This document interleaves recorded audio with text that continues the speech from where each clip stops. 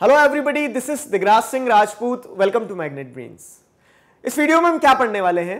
इस वीडियो में हम पढ़ेंगे दी कोस्टल प्लेन्स के बारे में। कोस्टल प्लेन्स के बारे में क्यों पढ़ेंगे सर क्योंकि अभी तक हमने चार मेजर फिजियोग्राफिक डिवीज़न पढ़ चुके हैं। ये पांचवा मेजर फिजियोग्राफिक डिवीज़न है, जिसका नाम है कोस्टल प्लेन्स ठीक है? बोलो हाँ। अब देखो, आप बोलोगे, सर, एक डाउट आया, लेकिन क्या डाउट आया? कि प्लेन्स तो हम पढ़ चुके हैं। तो वो कौन से प्लेन्स पढ़े थे हमने? थोड़ा गजनीपन से बाहर आओ और ये सोचो कि वो नदन प्लेन्स पढ़े थे हमने। अब हम कोस्टल प्लेन पढ़ने वाले हैं। तो ये देखो, ये इंडिया है, ठीक है? अब ये कोस्टल लाइन है हमारी मतलब क्या है? समुद्र का तट है ना ये? इस तरफ़ क्या है? समुद्र है पानी पानी है। अब इस तरफ़ भी पानी पानी है और वो नदन प्लेन हमने यहाँ पढ़ा था। अब ये यहाँ पे प्लेन लाइक स्ट्रक्चर है मतलब सपाट एकदम ज़मीन है बीचेस मिलेंगे, ठीक है? तो ये भी यहाँ पे प्लेन है, लेकिन ये कोस्टल प्लेन है मतलब कोस्ट से जुड़ा हुआ है। इसके अलग आपको यहाँ पे जो, कह सकते हैं कि यहाँ पे आपको जो जियोलॉजिकल एक्टिविटीज़ देखने को मिलेगी, ठीक है? जिस तरह से ये बना है, वो सब कुछ अलग है यहाँ पे, ठीक है? तो वही देखेंगे हम यहाँ पे क्या? कि on the basis of location and active geomorphological processes मतलब यहाँ पे क्या हो रहा है? जियोग्राफी में जियोग्राफी के हिसाब से अगर देखा जाए तो जियोमॉर्फोलॉजिकल प्रोसेस क्या हो रही है? यहाँ पे क्या बन रहा है? क्या टूट रहा है? उन सारी चीज़ों के हिसाब से हम दो तरह के कोस्टल प्लेन है हमारे यहाँ, या फिर कह सकते हैं कि इंडिया में जितना भी कोस्टल प्लेन है it can be divided into two broad categories what are those two broad categories western coastal plain and eastern coastal plain west और ईस्ट ठीक है? तो अब यहाँ पे ध्यान रखना, क्या है? इधर देखो जरा, यहाँ ध्यान दो। क्या? कि ये वाला जो पूरा एरिया है, ठीक है, इसको ऐसे भी ले लो, चलो। तो ये वेस्टर्न कोस्टल प्लेन हो गया, ये वाला जो पूरा एरिया है, ये ईस्टर्न कोस्टल प्लेन हो गया। कोई डाउट कोई कंफ्यूजन ठीक है प्रिंस सर का डायलॉग है। तो ये नहीं होना चाहिए। अब इस तरह से क्या है, आपको ये दोनों कोस्टल प्लेन मिल गए क्लियर अब आ जा पीछे आते हैं अगर थोड़ा सा और। तो ये जो वेस्टर्न कोस्टल प्लेन है ना वेस्टर्न कोस्टल प्लेन को अब कॉम्प्रिहेंसिवली हम डिस्कस करते हैं। ये रहा वेस्टर्न कोस्टल प्लेन जैसे, ठीक है? इसे पढ़ते हैं, इसे समझते हैं। तो is an example of submerged coastal plain submerged coastal plain का एक एग्जांपल है। क्यों, कैसे? तो आपको यहाँ एक चीज़ बताता हूँ मैं कि यहाँ पे क्या है? डेप्थ ज़्यादा है। किस चीज़ की डेप्थ ज़्यादा है? समुद्र की गहराई ज़्यादा है। कूदोगे ना तो ज़्यादा डूबोगे आप यहाँ पे compared to eastern coastal plain तो इस सेंस में क्या है कि यहाँ पे सब मतलब यहाँ पे क्या है, गहराई ज़्यादा है, ये सबमर्ज है, डूबा हुआ है। अब जब डूबा हुआ है ना तो यहाँ पे फ़ायदा क्या होता है? Because of this submergence it is it is a narrow belt and provides natural condition for the development of ports and harbours harbours और पोर्ट्स के लिए डेवलप करने के लिए एक नेचुरल कंडीशन मिल जाती है। फॉर एग्ज़ाम्पल देखो, क्या है कि एक लैंडमास है मान लो, ठीक है, ये एक ज़मीन का हिस्सा है, ठीक, और ये इधर पूरा पानी है इस तरह से ये पूरा पानी है, और ये यहाँ पे ऐसी ज़मीन ये डूबी हुई है, ये ये डूबी हुई दिख रही, ठीक है, ये पानी है पूरा नीचे नीचे ड्राइंग में हमेशा से नंबर कम देते थे टीचर तो इस कारण से ऐसी बनती है। तो अब देखो क्या है कि यहाँ पे अगर आप देखोगे तो डूबा हुआ इससे दिख रहा है आपको तो यहाँ पे पोर्ट बनाना मतलब शिप के लिए आपको क्या बनाना रहता है, ऐसा पोर्ट बनाना रहता है। आपने क्या कर दिया, एक पोर्ट बना लिया, एक हार्बर कंस्ट्रक्ट कर लिया तो आपकी नाव जो भी है ना, ठीक है तो वो नाव आराम से आ सकती है, ऐसी नाव बनती है। ठीक है, ये आराम से आप पार्क कर सकते हो। तो यहाँ पे क्या है, क्योंकि डूबा हुआ हिस्सा है, या फिर कह सकते हैं कि यहाँ पे गहराई ज़्यादा है पानी की। तो पानी, दिखती बात है, देखो, आपने कभी नाव में बैठे होंगे तो आपने ऑब्ज़र्व किया होगा ये क्या, कि ऐसा थोड़ी ना कि जहाँ सूखी जगह है, वहाँ पे नाव चल रही है। नाव कहाँ चलेगी? जहाँ पानी रहेगा ना तो थोड़ा पानी रहना चाहिए। ठीक है, एकदम शेलो वाटर में मज़ा नहीं आएगा ना, थोड़ा डीप वाटर होना चाहिए। तो उस तरह से क्या है कि यहाँ पे सबमर्ज कोस्ट है, ठीक है तो उस कारण से it is ideal for the construction of ports and harbours और उसी सेंस में क्या है तो यहाँ पे आपको मांजा गाँव ठीक है जेलन पोर्ट मारमा गाँव मैंगलोर कोचिन पोर्ट तो ये सारे पोर्ट जो हैं तो लाइन आपको सारे पोर्ट भी यहाँ पे बहुत ज़्यादा मिलेंगे। तो पोर्ट्स बहुत ज़्यादा कंस्ट्रक्ट हुए। ठीक, ये हो गया वेस्टर्न कोस्टल प्लेन का एक स्पेसिफिक फीचर अच्छा इसके पीछे कारण है। कारण समझ लो जरा जियोलॉजिकल रीजन क्या है कि क्यों ये गहरा है, या फिर कह सकते हैं कि क्यों यहाँ पे आप कह सकते हो कि कॉन्टिनेंटल शेल्फ क्यों नहीं है? तो उसके पीछे कारण क्या है? उसके पीछे कारण ये कि यहाँ पे रिवर्स ज़्यादा ड्रेन नहीं होती है। ठीक? अब रिवर्स से कैसे क्या रिलेट करोगे? देखो, आप देखोगे तो छोटी छोटी कुछ रिवर्स है। अभी अगले चैप्टर में पढ़ोगे आप। ठीक है? जो वेस्टर्न घाट पर ओरिजिनेट हो रही मांडवी वगैरह जैसे जो है, और नर्मदा और तापी है, और एक आधी कुछ गुजरात से आती है। तो सिर्फ़ इतनी ही रिवर इधर अपना पानी ड्रेन कर रही है। तो उस कारण से क्या है कि ज़्यादा सेडिमेंट्स नहीं आएँगे। सेडिमेंट्स नहीं आएँगे तो समुद्र क्या रहेगा? गहरा ही रहेगा। इसके ठीक उलट चीज़ हो जाएगी अभी ईस्टर्न कोस्ट पे। दिखाऊँगा। चलो। ठीक है? तो आगे ना समझ में ये अब आगे बढ़ते हैं अगर हम तो extending from Gujarat coast to the north of Kerala coast in the south the western coast में be divided into the following divisions अब क्या है कि जो पूरा वेस्टर्न कोस्ट है ना वेस्टर्न कोस्ट जो है पूरा तो गुजरात से लगा के केरला तक फैला हुआ है। गुजरात से लगा के केरला तक फैला हुआ और इसको हम डिवाइड कर सकते हैं। It can be divided into four zones क्या है वो four zones four divisions the Kutch and the Kathiawar coastal in the Gujarat ठीक है? तो ये देखो, किधर गया पीछे? ठीक है? कच्छ यहाँ से लगाओगे अगर आप तो यहाँ से लगा के यहाँ तक। तो ऊपर वाला जो डिवीज़न है, कच्छ या फिर काठियावाड़ कोस्ट जो है, वो गुजरात में है। ठीक? फिर अगला क्या है? फिर अगला है कोंकण कोस्ट इन महाराष्ट्र। महाराष्ट्र में कोंकण कोस्ट है। तो महाराष्ट्र में आप जैसे अगर आप यहाँ देखोगे तो काठियावाड़ प्लेन प्लेन हो गया कोस्ट कह लो जो कहना है। ये कोंकण प्लेन हो गया, कोंकण कोस्ट हो गया। ठीक? वहाँ पे देखो लैंग्वेज कौन सी बोली जाती? है कोनकानी लैंग्वेज तो थोड़ा सा कर्नाटका, थोड़ा सा महाराष्ट्र का एरिया जो लगा हुआ है वो। ठीक है? फिर उसके बाद में क्या है? उसके बाद में आप जिसे देखोगे, कर्नाटक गोवा वाला जो रीजन है। कर्नाटक गोवा वाला रीजन जो है तो आपकी बुक में दिया है गोवन कोस्ट ठीक है? तो गोवन प्लेन भी बोल सकते हो। इसे कन्नड़ प्लेन भी कहा जाता है कन्नड़ कोस्ट भी कहा जाता है। तो इंटरचेंजेबली यूज़ हो जाता है। ध्यान रखना, आपको दो नाम बता दी मैंने। तो गोवन कोस्ट है कन्नड़ कोस्ट भी कहा जाता है। Malabar coast in Karnataka and Kerala respectively okay यही कर्नाटका यहाँ जाएगा। ठीक है? और ये रिस्पेक्टिवली केरला इसके साथ में बुक में एक, एक जैसा लिखा है ना क्योंकि इसलिए।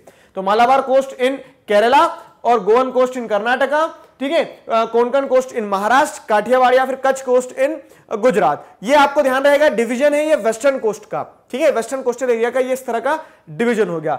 वहीं पे अगर आप देखेंगे क्या वहीं पे देखेंगे the rivers flowing through this coastal plain do not form a delta सवाल वाई समझो इस चीज़ को। इंटरेस्टिंग देखो जियोग्राफी को सिर्फ़ रखते जाओगे कि यहाँ डेल्टा नहीं है, और यहाँ पे इस तरह से आप क्या देखते हैं कॉन्टिनेंटल शेल्फ जो है तो वो ज़्यादा नहीं है, ये सारी चीज़ें तो वो बोरिंग लगेगा। रीजन समझोगे ज़्यादा मज़ा आएगा। क्या रीजन है, देखो तो the river flowing through the coastal plain do not form any delta delta नहीं बनता है यहाँ पे। क्यों नहीं बनता है सर देखो वेस्टर्न कोस्टल प्लेन को अगर आप देखोगे ऑब्ज़र्व करोगे तो यहाँ पे क्या देखने को मिलता है आपको कि इसकी जो स्ट्रिप है ये ये क्या है? बहुत पतला बेल्ट है एक, पतला बेल्ट इन द सेंस कि ज़्यादा ब्रॉड नहीं है स्ट्रिप ईस्टर्न कोस्टल प्लेन को देखो, जरा कितना ग्रीन कितना दिख रहा है तो ये प्लेन ज़्यादा बड़े हैं। अब जब एरिया नहीं है यहाँ पे, और रिवर डेल्टा कब बनाएगी, ये तो आपको पता है। क्या पता है? इतना तो सीख गए ना कि रिवर को डेल्टा बनाने के लिए प्लेन एरिया भी तो चाहिए। जैसे सुंदरबन डेल्टा बन रहा है तो क्योंकि वहाँ पे प्लेन एरिया मिल रहा है उसे। यहाँ पे क्या है? पहाड़ है पूरे कंटिन्यूसली कौन से पहाड़ है? वेस्टर्न घाट है।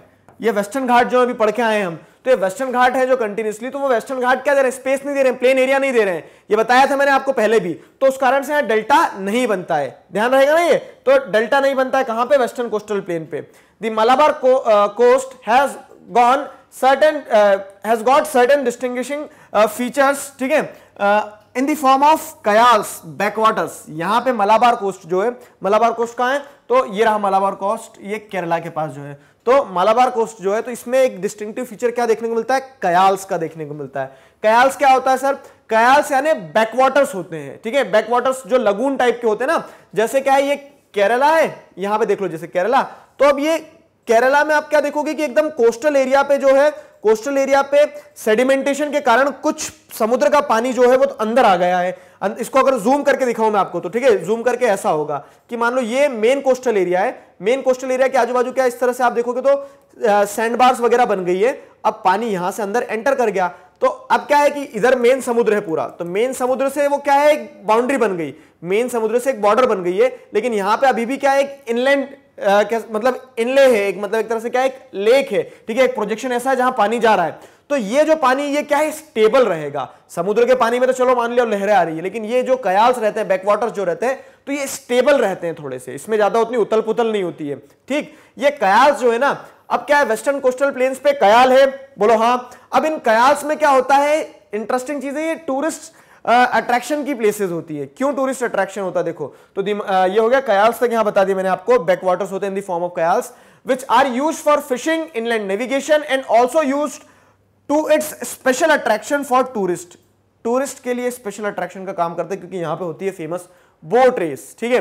अब क्या होता है? और ये कयाल्स जो है तो सिर्फ़ कोस्टल एरिया तक सीमित नहीं, मैं बता रहा हूँ। ये अंदर भी गए हैं, ठीक है? केरला के, जैसे आप देखोगे तो थोड़े से इंटीरियर पार्ट तक फैला हुआ है। तो उस कारण से क्या है, ये इनलैंड नेविगेशन में भी मदद करता है आपकी। मतलब आप अंदर क्या कर सकते हो कि उन पानी के रास्तों के थ्रू बोट वगैरह ले जा सकते हो। इन्हीं रास्तों पर होती है फ़ेमस बोट रेस तो every year the famous Nehru trophy ठीक है? Vallam Kali boat race is held in Punnamada Kayal in Kerala तो ये यहाँ पे क्या होती है? बोट रेस होती है एनुअल बोट रेस होती है जहाँ पे सारे लोग पार्टिसिपेट करते हैं। ये ध्यान रखना ये इंपॉर्टेंट चीज़ें ये एनुअल बोट रेस जो होती है तो इट इज़ दी मेन कह सकते हैं एक, एक फेस्ट की तरह होती है केरला में ठीक है? ये सारा सब कुछ हो गया। क्लियर है? अब आते हैं हम ईस्टर्न कोस्टल प्लेन पे। ईस्टर्न कोस्टल प्लेन कहाँ है? तो ये रहा eastern coastal plain eastern coastal plain के बारे में आपकी बुक में ज़्यादा नहीं दिया है लेकिन फिर भी बताते चलता हूँ मैं आपको। जैसे हमने पीछे भी डिस्कस कर लिया था कि ये क्या है? ब्रॉड है। थोड़ा सा ये नैरो है, ये ब्रॉड है। इनका डिवीज़न देखोगे तो जैसे क्या, कोरोमंडल। कोरोमंडल किंग है, ऊपर नदन सिरकर है तो इस तरह से इसका कोस्टल डिवीज़न ये हो गया। ठीक हाँ अब क्या देखो तो as compared to the western coastal plain the eastern coastal plain is broader बड़ा है and is an example of emergent coast अब देखो इमरजेंट क्या है? तो सबमर्ज का अपोजिट हो गया इमर्ज सिंपल सबमर्ज का अपोजिट मतलब हो गया इमर्ज तो ये इमरजेंट कोस्ट है मतलब जो अभी बन रहा है बोलोगे अब कैसे बन रहा है सर तो वही कारण है इसका भी। देखो क्या है कि ये इंडिया है, अब यहाँ जो रिवर्स आप देखोगे, कृष्णा मतलब जैसे महानदी देख लो, कृष्णा, ठीक है, गोदा सॉरी महानदी हो गया, गोदावरी, कृष्णा, कावेरी, गंगा, ब्रह्मपुत्रा, ठीक है तो जितनी भी रिवर्स है, वो सारी रिवर्स अपना डिपॉजिट जो है वो कहाँ किस ओशन में मतलब किस पार्ट में आगे डाल रही है? बे ऑफ़ बंगाल में। ठीक है? और ईस्टर्न कोस्टल प्लेन कहा है? बे ऑफ़ बंगाल में। अब जब वो सेडिमेंट्स डालेंगी ना अपना तो सेडिमेंट्स डालेंगे तो क्या है? यहाँ पे आप एक इमरजेंट देखोगे कोस्ट को बनते हुए। कोस्ट को इमर्ज होते हुए देखोगे आप। ठीक है? एक इमरजेंट कोस्ट इसीलिए कहा गया है। यहाँ पे कॉन्टिनेंटल शेल्फ ज़्यादा रहेगी। मतलब क्या है? मतलब जैसे ये अगर आप देख रहे हो तो इस, इसके बाद में अगर ऐसे थोड़ा सा थ्री इमेजिन करना, ठीक है?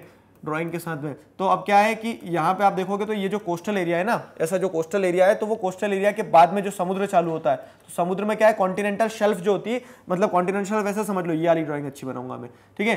कॉन्टिनेंटल शेल्फ ऐसे समझ लो कि ये कोस्ट खत्म हो गया यहाँ पे, लेकिन कोस्ट खत्म होने के बावजूद भी क्या इस तरह से अंदर अंदर गया हुआ है, क्योंकि ये जो रिवर्स आ रही थी तो रिवर्स अपना सेडिमेंट डालते जा रही थी ना यहाँ पे सेडिमेंट तो एकदम डीपेस्ट पॉइंट आपको दूर मिलेगा। ठीक? डीपेस्ट पॉइंट दूर मिलेगा। आप पूरे यहाँ पे जाके डूबोगे। और यही चीज़ आप वेस्टर्न कोस्टल प्लेन पे देखोगे तो वहाँ पे क्या है? डीपेस्ट पॉइंट यहीं से स्टार्ट हो जाएगा। वहाँ पे आपको क्या है? ज़्यादा कॉन्टिनेंटल शेल्फ नहीं मिलेगी इस तरह से। और यहाँ पे आपको ऐसी कॉन्टिनेंटल शेल्फ मिल जाएगी एक लंबी।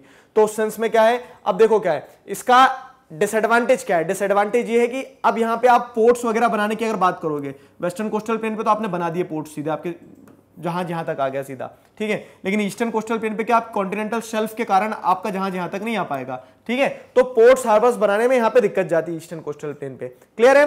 ये चीज़ थी। तो एग्जांपल ऑफ़ इमरजेंट कोस्ट तो there are well developed deltas here deltas भी है ब्रॉड है तो वहाँ पे डेल्टा बनना तय है।